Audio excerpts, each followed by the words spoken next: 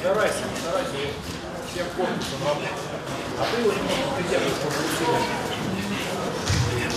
Русский «Витязь» показал, как правильно бить и защищаться. Александр Поветкин и Эдуард Трояновский провели мастер-классы в школе Олимпийского резерва по боксу. Чемпионы показали мальчишкам, как избежать ошибок, которые совершают все любители. Каждое движение, каждый жест Поветкина юные боксеры старались повторить. Упражнения на пресс и координацию – одна из основ подготовки.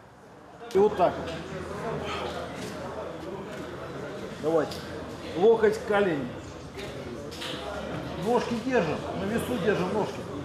Визит чемпионов мира и Европы по боксу Александра Поветкина и Эдуарда Трояновского для мальчишек стал настоящим праздником. Здесь и мастер-классы, и фото с кумирами, и, конечно же, автографы. Ивану Логинову 12 лет. Боксом он занимается уже три года. За его плечами несколько побед на городских и областных соревнованиях.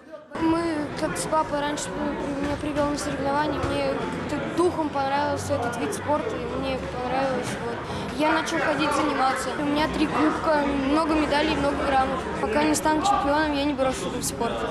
В этот же день Александр Поветкин, Эдуард Троиновский и боец смешанных единоборств Сергей Харитонов посетили Ранхикс. В 2016 году они стали студентами Российской Академии Народного Хозяйства и Государственной Службы. Спортсменов, которые привыкли добывать и завоевывать чемпионские пояса в самых престижных соревнованиях, теперь ждут новые испытания – зачеты и экзамены. Во Владимирском филиале Ранхикс Поветкин, Троиновский и Харитонов встретились со студентами и ответили на их вопросы.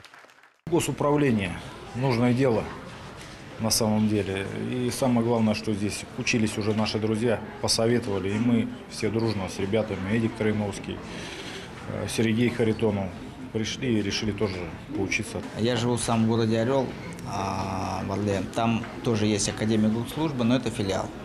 А здесь, как бы считается, московская уровнем выше. Поэтому мы приняли решение все вместе своим коллективом бойцовским поступить сюда. Я считаю, что все можно совмещать. Э, Это э, отговорки людей, что э, мы занимаемся только спортом, мы не хотим там учиться и так далее. Человек должен быть и спортивно развит, и образован, однозначно.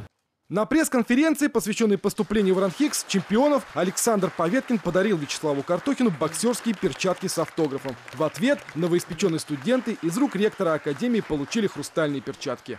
Борис Пучков, Александр Горшков, Губерния 33.